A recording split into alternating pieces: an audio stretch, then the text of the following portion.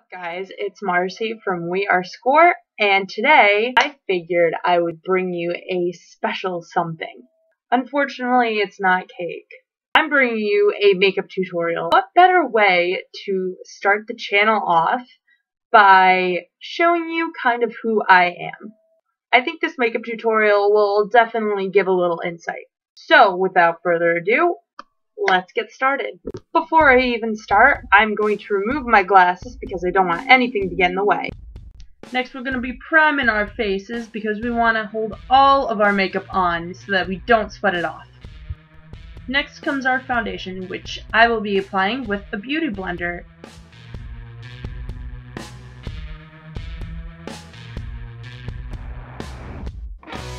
Now it's time to do your brows. The high testosterone levels in men make it so that their hair, including their eyebrow hair, come in thicker and fuller than women's.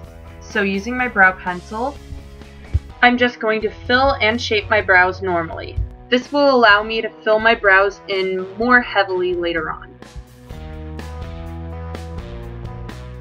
Now because brow maintenance in the NHL is minimal to none, you are going to be taking a small, flat eyeliner brush and feathering some of your brow filler to various places on your brow so that it gives the appearance that your brows are more unkempt and hairier.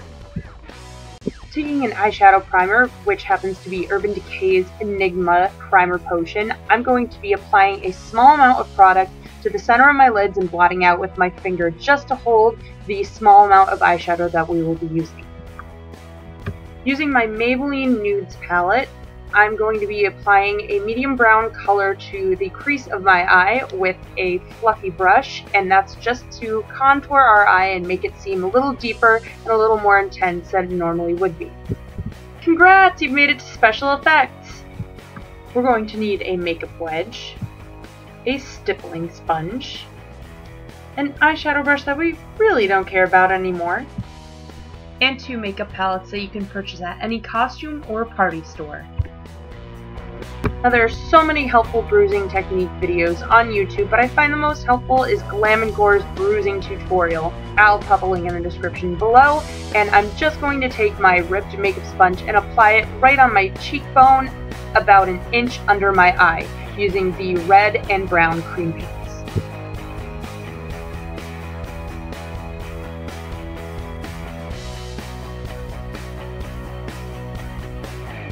Alright, I decided that I didn't like the dark purple, so I'm going to be using this lighter purple from an oil cream palette and just applying that to my bruise so that it looks more aged yet still relatively fresh.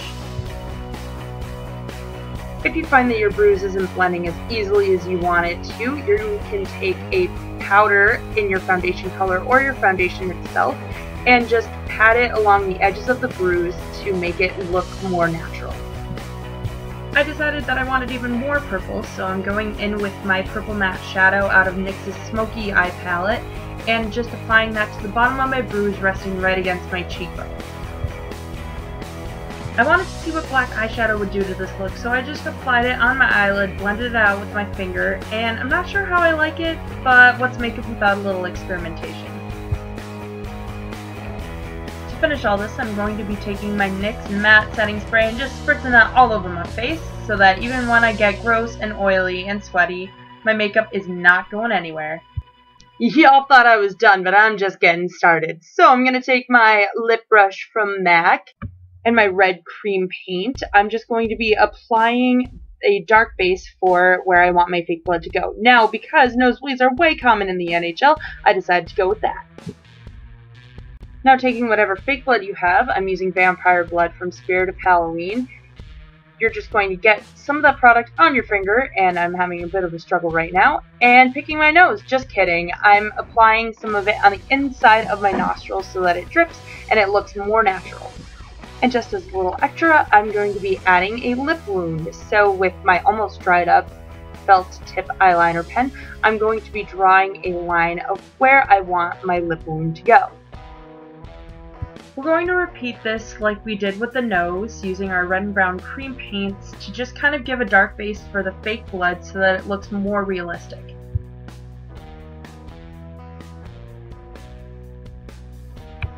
Now I want my lip cut to look like it's a reopened wound, so taking my purple matte shadow, I'm just going to apply it around the cut and blend it out.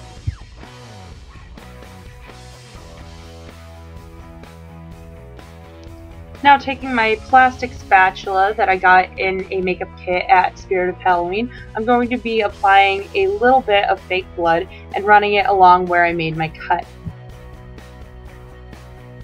I'm applying more fake blood at the end just so that it drips down and looks a little more fresh.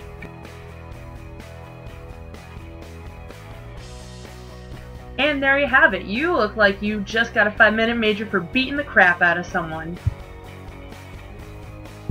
Congratulations on channeling your inner Zac Rinaldo and being the fakest real hockey player ever. It's in my mouth. Let's see. Thank you so much for watching this tutorial. Uh, as it gets closer to Halloween, I will probably be putting out a prosthetic tutorial on how to do the hockey puck to the eye but that will happen when I have enough money to buy myself a new quart of liquid latex. So we'll see when that comes out.